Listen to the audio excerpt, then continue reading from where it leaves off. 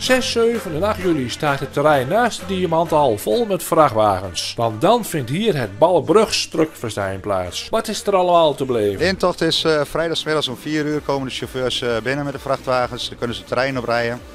En dan worden ze opgesteld op het terrein. Uh, dan rond een uur of negen zal Crew Music beginnen. Dus dan begint het feest.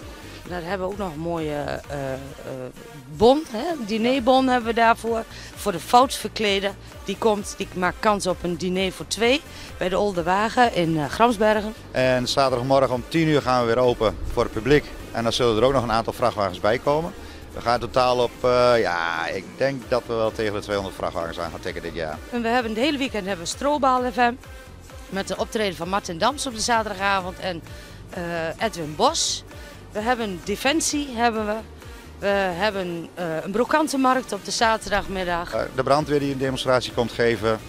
Nou, inderdaad, net als Sandra zegt, een heleboel voor de kinderen. We kunnen ook weer meer rijden met de vrachtwagens. Ja, de rondritten zijn er ook weer. Inderdaad. Dat blijft leuk, hè? Uh, ja, dat blijft een trekker voor de kinderen natuurlijk. Om, om prachtig in zo'n grote vrachtwagen rond te rijden natuurlijk. Van Buren is er weer met een lessen waar je mee kunt, dat je op een echte vrachtwagen kan rijden.